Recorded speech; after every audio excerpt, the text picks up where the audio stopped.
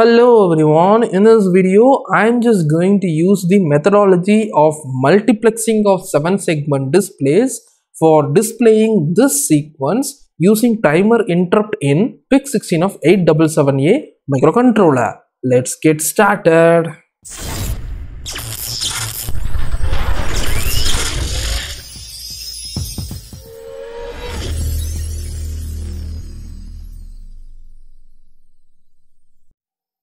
So as I mentioned earlier, we are just going to use the timer interrupt in PIC16 of 877A for multiplexing process. And in one of the previous videos, we also learned that what this multiplexing process of 7 segment displays and following that we also learned how we can multiplex the 7 segment displays for displaying 2 digit number using our PIC16F877A microcontroller. So this is the program that we wrote in that lecture for printing the number that is this number variable 78. So the two 7 segment displays will be printing this 2 digit number 78 by the process of multiplexing. Here you can clearly see this is the programming logic that we wrote and this one is the multiplexing process. And this method of multiplexing is nothing but polling process of multiplexing 7 segment displays.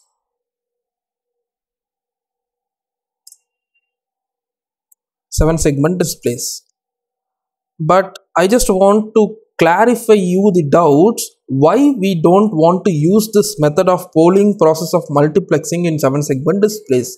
So let me just write some logic over this polling process. You can clearly see this process of multiplexing is happening again and again by the processor since all these lines are written inside the infinite loop of the program that is this while of 1. So that is why this method is called as polling process of multiplexing 7 segment displays.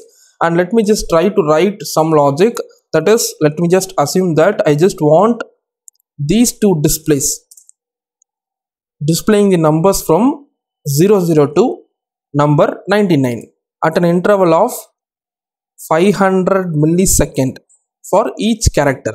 That is I want these two displays to be displaying the numbers from 0 to number 99 with an interval of 500 milliseconds that is half a second for each count. And before that let me, let me just test this program that we wrote. Let me just see whether these two displays are displaying the number 78 so this is the Proteus simulation circuit that we built. And for simulation as I mentioned these two transistors are not functioning in my Proteus and that is why we will be connecting the common pins of these two displays connected to the GPIO pins of the microcontroller and they will be sinking the current through the GPIO pins. So for simulation purpose we are doing this but in hardware we will be building this circuit. So the same circuit that we are going to build and the common pin of these two displays in the hardware will be driven to ground using NPN transistors such as BC547. So let me just delete all these for simulation purpose and I am going to connect this first display common pin to RC0 and I am connecting the second display common pin to RC1. So this was the circuit you can clearly see. First display is connected to RC0 and RC1 and regarding now you can clearly see these are common cathode displays. So for turning on the first display I just want to make the common pin low. And for turning off the first display I just want to make the common pin to be high. So this is the logic. I just want to swap the logic that I have defined right over here. If the segment is on I just want to give the number to be 0 and if the segment is off I just want to provide high to that particular pin so this is meant for simulation purpose and in hardware the case is reverse. So I hope you understood that in that lecture. So I have already taught you what is multiplexing process of 7 segment display in a separate lecture and then we used the polling method of multiplexing process for printing 2 digit number onto two 7 segment displays in another separate lecture. So I highly recommend you watching those two lectures before continuing in this video. In addition to these two videos, we are also going to use the timer interrupt which we implemented in a separate lecture for multiplexing process. So in addition to those two lectures, please watch that lecture too and then you can proceed in this video. Since I have provided all this lecture in a sequential manner, if you are following the sequence, that is not an issue. If you have not followed those sequence or if you are having a basic knowledge on these terminologies that I told, you can continue in this lecture. Let's go in deep into the lecture. Now I'm building this project. You can see the build is successful. I'm just going to run the simulation now. You can see the program is working fine and it is implementing the multiplexing process. That is the polling method of multiplexing process for printing the number 78 onto these two displays now let us try to understand the problem which we are going to face in this polling method of multiplexing process so as I mentioned before, we are just going to implement this program. That is, I'm just going to write a program in this circuit itself for printing the numbers from 00 to 99. So let me just rewrite this logic. So after this, I'm just going to increment the number variable and I'm going to check for the number variable if it is 100 I'm just going to make the number variable to be 0 and finally I'm just going to give a delay for half a second. So you can see the programming logic that is these lines will be helping us to print the data onto the 7 segment displays. In addition to that we are just writing the logic right over here. That is the number will be incremented for every half a second. And if the variable reaches the number 100 that number variable will be decremented to 0 or initialized to 0 so the numbers from 0 0 to 99 will be printed on the 7 segment displays with an interval of 500 millisecond or half a second for each number so this is the programming logic. I am just going to build this project. You can see the build is successful and our program is not having any errors. And let me just stop this simulation and I am going to run the new program. You can see I am not getting any numbers displayed in these two 7 segment displays in a multiplexed manner so this is the problem so the problem here is this delay half a second so if we are adding any other programming logic which will include some amount of delay to the program that will affect this multiplexing process. So what we want to do was instead of using the polling process of multiplexing 7 segment display we can use the timer interrupt in any microcontroller for performing this multiplexing process. So that is the simplest solution for this kind of problem in multiplexing of 7 segment display. So if you are using this polling method of multiplexing process in your program, you must take care of the timing considerations for your logic that you are writing other than this multiplexing in your program. And if you are using the timer interrupt for generating or for multiplexing process, you can neglect the timing considerations for your logic. So I highly recommend you to write or multiplex the 7 segment displays for displaying the number using timer interrupt in your program. So let me just do that step by step. So as I mentioned, I'm just going to use two different programs in this video which we have already used in two different lectures. One is the lecture of multiplexing 7 segment displays using PIC16 of 877A microcontroller. And another one is the lecture of timer interrupt programming in PIC16F877A microcontroller. And as I mentioned before if you are already learning this course in an order that I have provided, you could have crossed these two lecture videos. And if you have not watched them, please go back to these two videos for better understanding and then come to this video for clear understanding. And now we have already discussed the program that we wrote in this lecture number one that is multiplexing of seven segment displays using PIC16F877 microcontroller. So that is the program that is available right over here which is useful for printing the number 78 in these two 7 segment displays. And this one is the program that we wrote in the timer interrupt programming using PIC16F877A microcontroller. So here we just enable the timer interrupt and all other required interrupt for generating timer interrupt. And here in this line we just configured the prescaler of the timer to be 256 and here we loaded the load value for generating timer interrupt for every 10 millisecond in our PIC16 of 877A microcontroller. So this is what happens right over here. After all the initialization that, that is done right over here, the programming logic enters into this while of 1 that is the infinite loop. So as the program or the processor is executing all the execution lines that is available inside this while of 1, it will never leave this loop since this loop will never fail until the microcontroller is stopped. So as soon as we configure the timer, the timer will be start counting from 0. So when the timer reaches the time period of 10 millisecond, the timer peripheral in the microcontroller will be interrupting the processor telling that the timer has overflown. So the processor what it does is it will stop all it was doing right over here or it will pause all the operations that it has been doing right over here and it will enter into the timer interrupt subroutine or timer interrupt service routine function that is written right over here. And after entering into this function it will execute all the executable statements available here in this function. And after executing all these things it will again resume back to the main function where it was previously performing all the executable statements. And it will be resuming the process that it was doing right over here.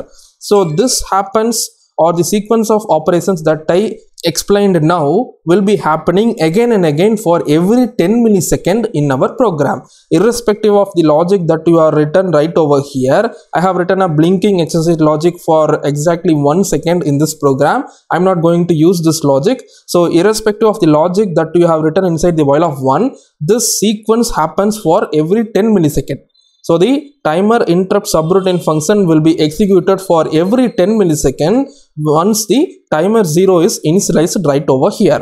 So the timer that I have used here is timer 0. You can see here TMR 0 and option register is meant for timer 0. So I'm just going to use all the methodologies that I used right over here. I'm just copying this interrupt subroutine function and I'm going to paste it right over here along with the timer count variable. I'm just going to use the timer count variable.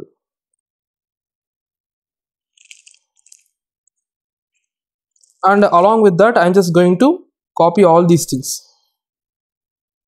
That is the timer configuration.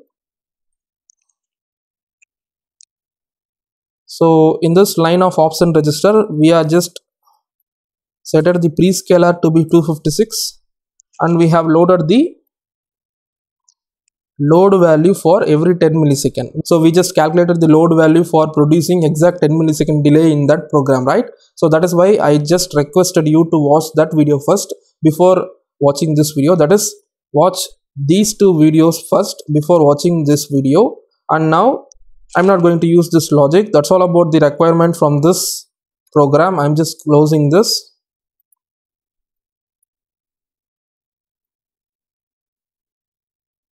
what is the process that I'm going to do here is I'm just going to perform this multiplexing process inside this timer interrupt function.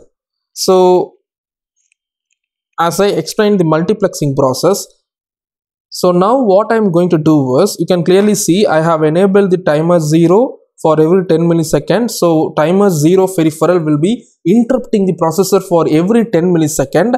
So the timer subroutine written right over here will be executed for every 10 millisecond irrespective of the logic written right over here in our program. So I'm just going to build the same logic that is I'm just going to print the numbers from 00 to 99 in these two 7 segment displays using the multiplexing process using timer interrupt in PIC16F877A microcontroller. I have enabled the timer 0 for every 10 millisecond and also I have enabled the timer 0 interrupt global interrupt enable bit and uh, peripheral interrupt enable bit. So these two global interrupt enable bit and uh, peripheral interrupt enable bit is useful for enabling any interrupt, any peripheral interrupt in this microcontroller and this TMR0IE is meant for timer 0 interrupt. That is why I have enabled these three bits in the microcontroller and after that I have set the prescaler to be 256 and the load value for 10 millisecond. So as I said, the multiplexing process is simple. First, I'm just going to turn on the first 7 segment display and I'm going to turn off the second 7 segment display.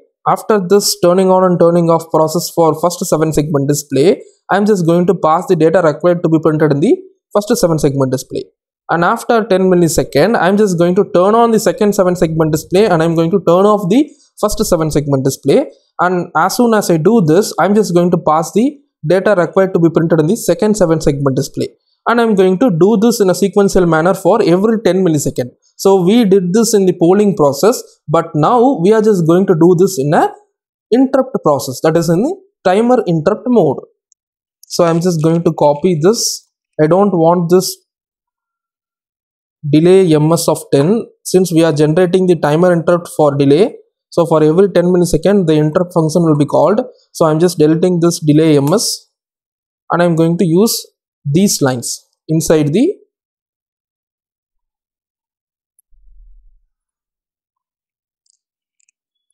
timer interrupt function. That is the timer interrupt subroutine function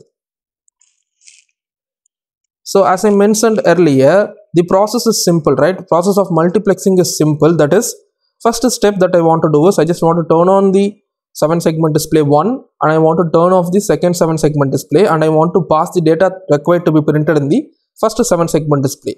That is done using these two lines. So as per our programming logic, you can clearly see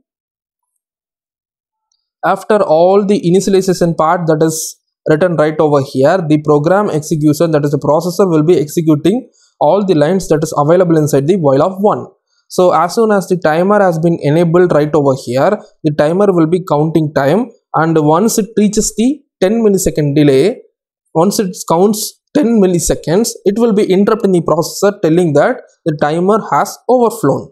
So once the processor is interrupted the processor will be pausing all it was doing right over here all the execution it was doing right over here and it will be entering into this timer ISR function. That is the interrupt service routine function.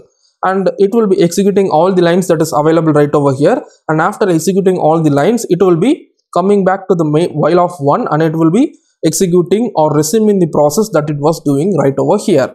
And again after 10 millisecond the same process continues. So for every 10 millisecond anyhow the processor will be executing this timer 0 interrupt service routine function.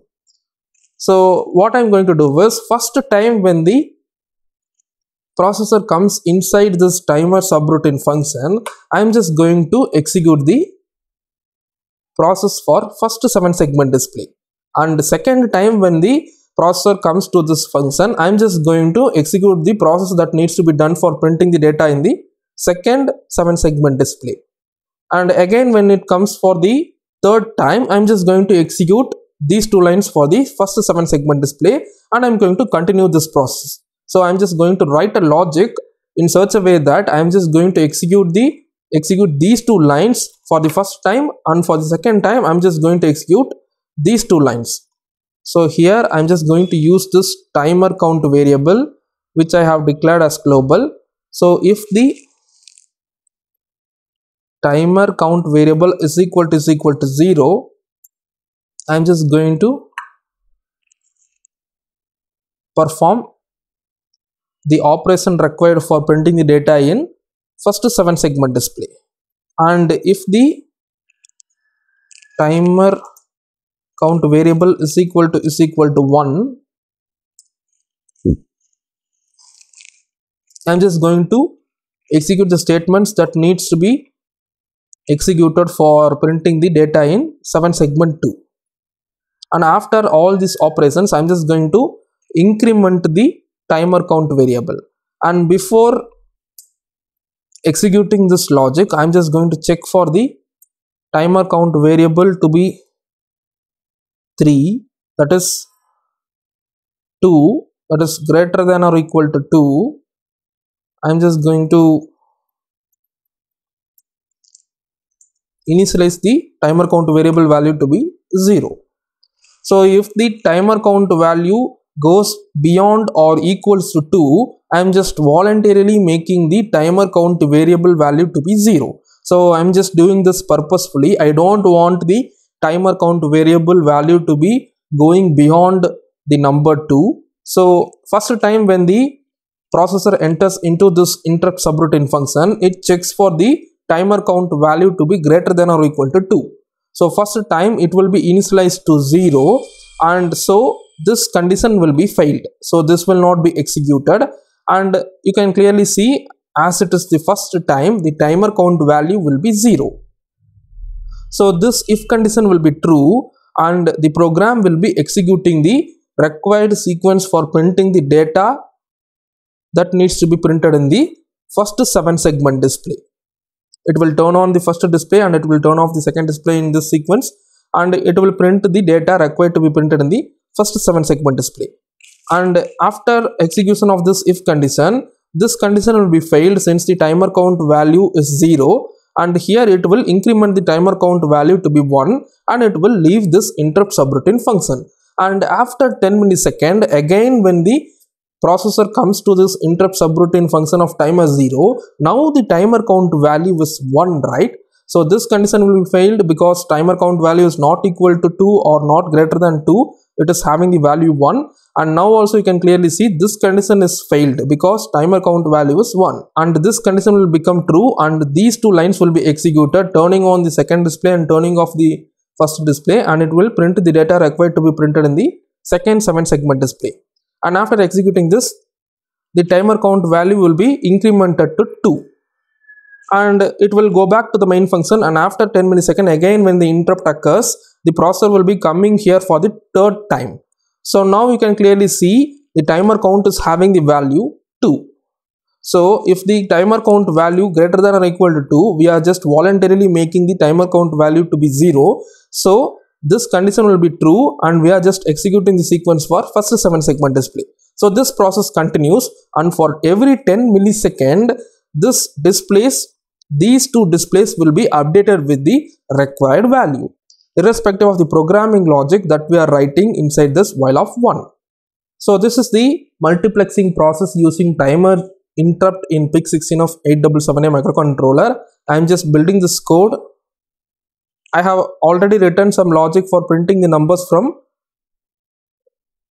0 to 99 in these two 7 segment displays right? So let us test whether it is printing the numbers from 00 to 99 and uh, these two lines for is useful for splitting the first digit and second digit. And we are using the same variables right over here. This and all we have done in the lecture of multiplexing 7 segment display using PIC16F877A microcontroller. So I hope you understood that. Now I'm just building this project. You can see the build is successful. I'm just opening the Proteus simulation and I'm going to run this simulation. Sorry. Wait a minute. I just want to initialize this number to be 0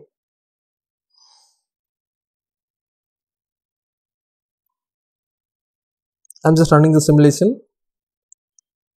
you can see we have successfully implemented the counting sequence in a multiplexed manner in these two 7 segment display using timer interrupt in PIC16 of 877A microcontroller.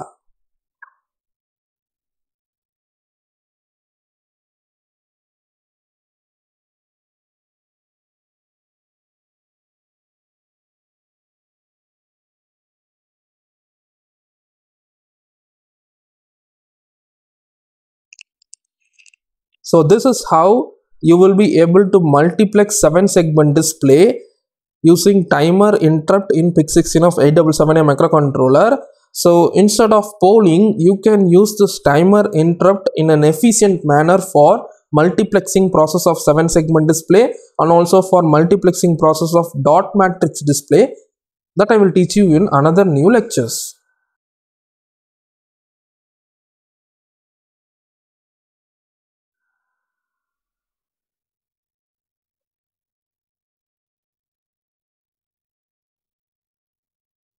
You can see the sequence is going to complete. When it reaches 99 it will start from 0 so our program is working fine. It is starting counting from 00 to 99 so as i mentioned we have connected the common pins of these two 7 segment displays to the gpio pins. So it will be sinking the current which is not recommended in hardware. So we are just going to build this hardware circuit that is we will be driving the common pins of these two 7 segment displays using BC547 transistor and we will be driving the base of the transistor using the GPIO pins.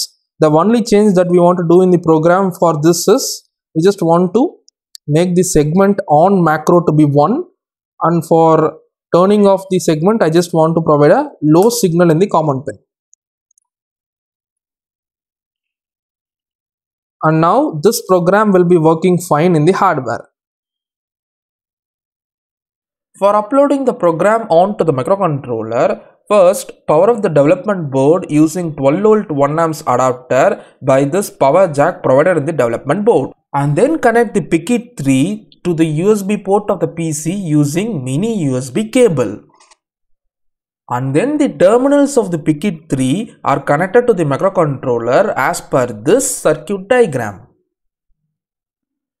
If your development board is not showing these pinouts or if you are not having a development board, you can directly connect the terminals of the PICkit 3 to the microcontroller pinouts as per this circuit diagram. Or you can just build this circuit in a breadboard for programming the microcontroller. Once the circuit is built, click on this make and program device main project icon in MPLABX IDE you can see the device is being programmed. Click on OK.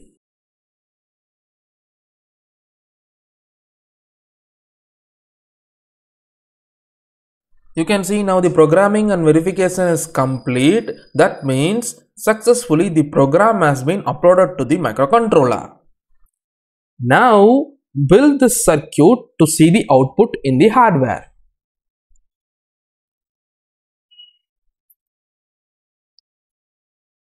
You can see this is the development board which I am going to use for building the circuit diagram. And luckily I am having a multiplexed 4 7 segment displays right over here in my development board. So I am just going to utilize any two of the 7 segment displays which are multiplexed. So I am just going to use this display and uh, this display. So I will be neglecting these two displays for fetching the output. And you can see the terminals of the 7 segment that is these are all the terminal jumpers for 7 segment display starting from A to G and last one is decimal point. I am not going to connect the decimal point. And as per our circuit diagram I am just going to connect these 8 lines to RB0 to RB7 and in addition to that we are having the common rails of the 7 segment display. That is these four 7 segment displays are common cathode type 7 segment displays. So they are driven by NPN transistors right over here. So this one is meant for this display and this transistor is meant for driving the common pin of this display and this T3 transistor is meant for third display and T4 is meant for fourth display. So as per our logic I am just going to use these two 7 segment display that is the this one is the 10th place 7 segment display and this one is the 1st place 7 segment display that I am going to utilize. So now I will be connecting the T3 base that is the this terminal I will be connecting it to RC0 and T4 base will be connected to RC1. So I am just doing that.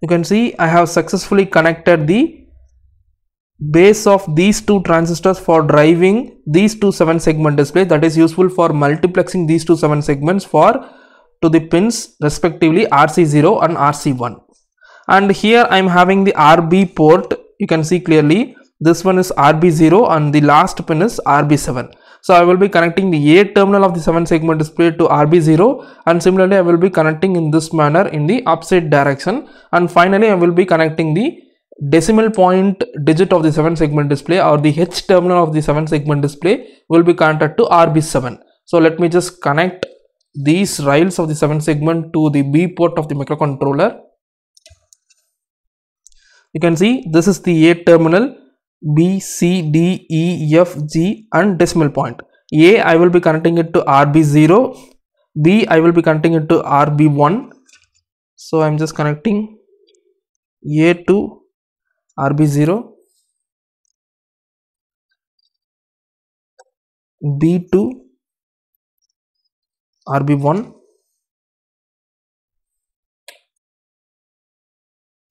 C will be connected to RB2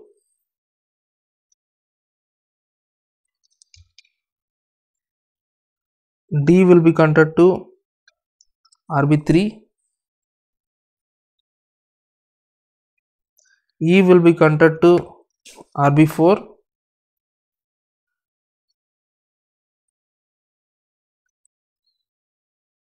F will be connected to RB5 and finally i'm not going to connect the decimal point. I'm not going to utilize the decimal point of the 7 segment. So finally i'm connecting the g terminal of the 7 segment display to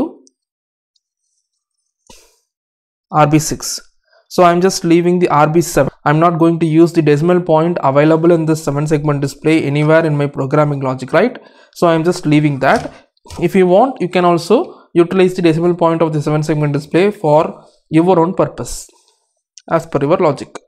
So the connections has been made. Let us see the output in my hardware. I am just powering up this development board with the help of 12 volt 1 amps adapter right over here. And you can see this is the output which I got in my hardware. You can see the 7 segment displays that is these two 7 segment displays are multiplexed and it is printing the count value from 00 to 99.